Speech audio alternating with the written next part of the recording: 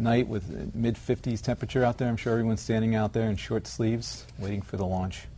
Coming up on 10, 9, 8, 7, 6, 5, 4, 3, 2, 1, ignition.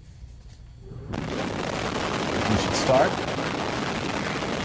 And we have liftoff. Liftoff of an ILS Proton rocket from Baikonur Cosmodrome in Kazakhstan with the Nimiq 6 satellite on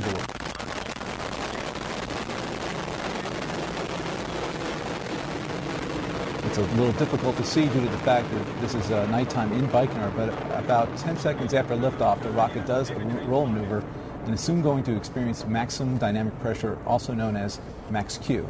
And that's the maximum aerodynamic load on the vehicle. For Proton, it corresponds to about Mach 1.6 and occurs 1 minute and 2 seconds after liftoff. Going through T plus 45 seconds now.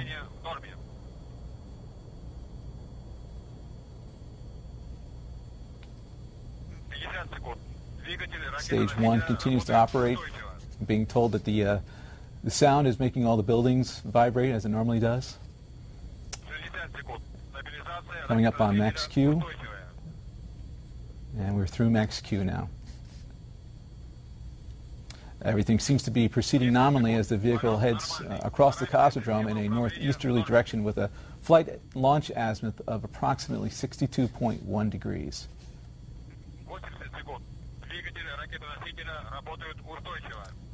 Proton shining like a bright star in the night skies. I'm sure the VIPs are very much appreciating the clear skies as they watch Proton head down range.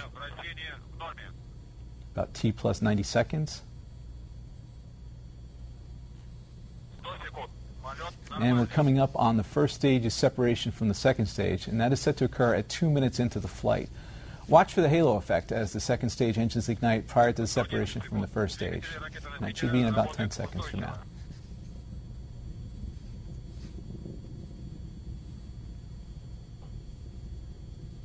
And you see it.